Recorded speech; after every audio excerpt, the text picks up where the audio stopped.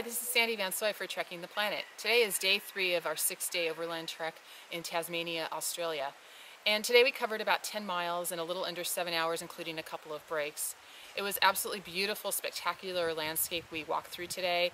We started off by going up and down several ridges, walking across moors at the top of them. It was quite windy up there and cold, but today we didn't have any rain. And then we dropped down into a couple of forests, one smaller one and one a quite large one that we walked through for sev several hours.